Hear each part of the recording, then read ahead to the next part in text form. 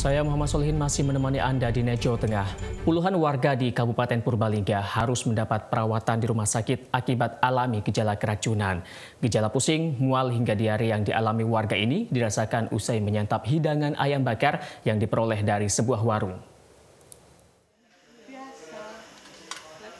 Lebih dari 90 warga desa Serayu Larangan Kabupaten Purbalingga harus dirawat intensif di rumah sakit dan puskesmas Jumat pagi karena diduga alami keracunan. Puluhan warga tersebut menderita pusing, mual dan diare usai menyantap ayam bakar dari sebuah warung. Meski tak menyantap makanan secara bersamaan, mayoritas warga mengeluh dan merasakan gejala keracunan pada Kamis pagi hingga malam hari. Karena khawatir akan gejala yang lebih parah, warga langsung berobat ke puskesmas dan rumah sakit.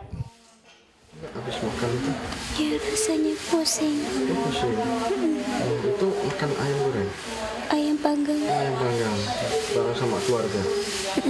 Yang kena berapa keluarga mbak? saya. Oh, yang makan cuma mbak aja. Iya, Itu selang berapa lama? Bisa pusing langsung gitu. makan sore terus pusingnya pagi-pagi. Tim dokter RSUD Purbalingga menduga pasien mengalami gangguan pada saluran pencernaan. Meski demikian, tim dokter tidak mendapati pasien yang dirawat akibat kasus tersebut dalam kondisi gawat. Penyebabnya ya kemungkinan masih banyak kemungkinan ya. Makanan itu? Iya, ke- ya yang jelas kemungkinan besar dari makanan ya. Kalau keracunannya belum tanda-tanda keracunannya belum kita temukan. Yang sudah kita anu adalah radang saluran pencernaan kemungkinan ada infeksi mungkin ya dari makanan yang atau ya yang masuk ke saluran pencernaan. Kondisi terparah ya mereka kurang cairan, ada yang kurang cairan.